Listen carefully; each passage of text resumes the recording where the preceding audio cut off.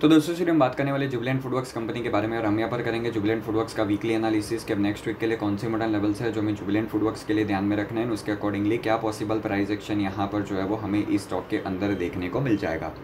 अब देखो दोस्तों जुबिलेंट फूडवर्क कंपनी की अगर हम यहाँ पर बात करें तो ये काउंटर के अंदर जो सेलिंग है वो यहाँ पर इस हफ़्ते के स्टार्टिंग से ही हमें एज इट इज़ चलती हुई देखने को मिल रही है एंड स्टील काउंटर हमें यहाँ पर जो है वो कहीं ना कहीं नेगेटिव नोट पर ही चलता हुआ देखने को मिल रहा है। अब ओवरऑल मार्केट में भी वीकनेस है तो स्टॉक भी यहाँ पर जो है वो गिर रहा है।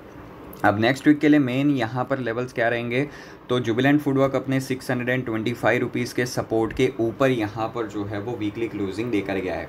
दैट मीन्स कि अब अगर मान लो यहाँ पर स्टॉक को फर्दर करेक्ट होना है तो नेक्स्ट वीक में इसको 625 को ब्रेक करके नीचे निकलना पड़ेगा। एंड अगर निकल गया तो फर्दर सेलिंग हमें 575 और अगर उसके भी नीचे निकल गया तो फर्दर सेलिंग 550 रुपीज़ के सपोर्ट तक की भी आराम से यहाँ पर इस काउंटर के अंदर देखने को मिल जाएगी।